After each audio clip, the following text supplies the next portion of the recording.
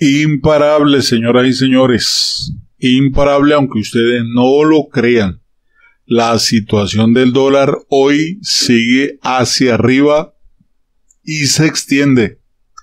Lo terrible, mi gente hermosa, es que va pasando los días, las semanas, los meses, y uno se pregunta qué va a pasar con el país tenemos la mega, hiper, ultra, recontra, hiperinflación más grande del mundo. Y estamos nada más y nada menos que que esperando que la gente de afuera nos venga a ayudar. Y los venezolanos que pregunto porque el día de hoy imagínate ayer hablábamos de que estábamos en 2.600.000 hoy 23 de abril superamos la barrera de los 2.800.000.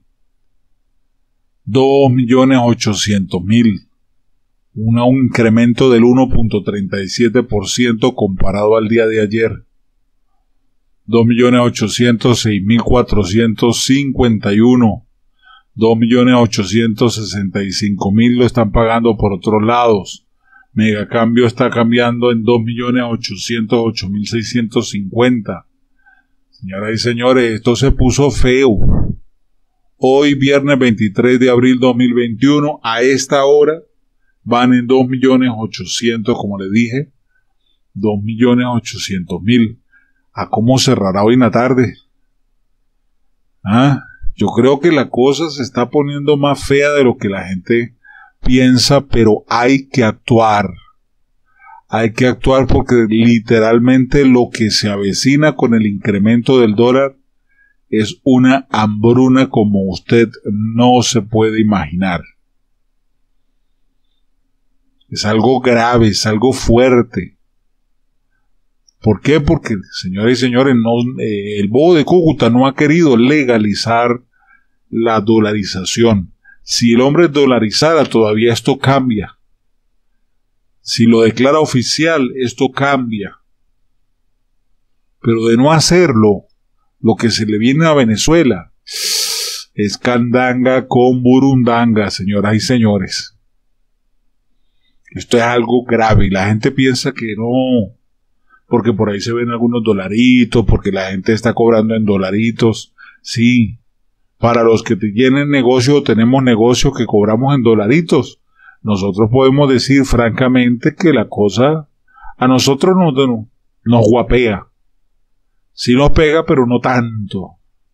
Ahora aquel ciudadano de a pie que se gana el mínimo, que no tiene, que no tiene absolutamente nada, que no tiene absolutamente nada para comer, ¿qué va a comprar si un dólar le cuesta dos millones ochocientos mil bolívares?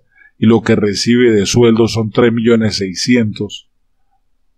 Mm, contando sueldo y cestatique. Piensen, piensen por un momento en todas las personas que tú conoces que no cobran un sueldo, que no cobran, perdón, un en dólares y que lo único que reciben son los bolivaritos. Esos bolivaritos que ya casi nadie recibe en efectivo. Primero porque no se consiguen y segundo, si lo consiguen ya la gente no los quiere recibir.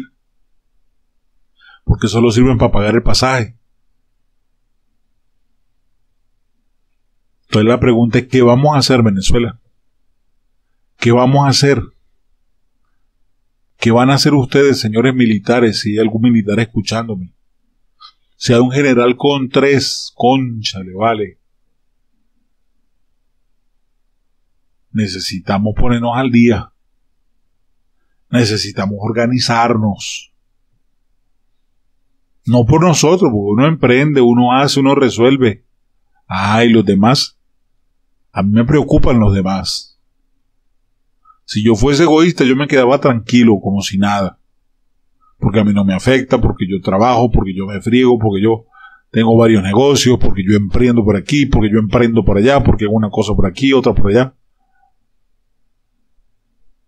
Pero resulta, pasa y acontece que no todo el mundo está así. Y esto que se vislumbra hoy, que no ha terminado el mes, en 2.800.000, eso me deja pensar que para entonces, para allá, para el 31, para el 30 de este mes, para el último del mes, ya superaríamos los 3 millones 100 mil, 3 millones 200 mil, 3 millones 600 mil, o sea que termina el mes y pagándose estatiques y sueldo mínimo sería un dólar. Un dólar. Y el sueldo medio dólar. ¿Qué compra usted con medio dólar? Hagamos cuentas. Aquí les dejo la información y pensemos un poco. Hay que organizarnos. Un abrazo rompecostillas. Se les quiere mucho, mil bendiciones. No olvide visitar nuestra página web filósofo777.com. Allá puedes leer noticias, puedes comentar, desahogarte. Dale. Bendiciones.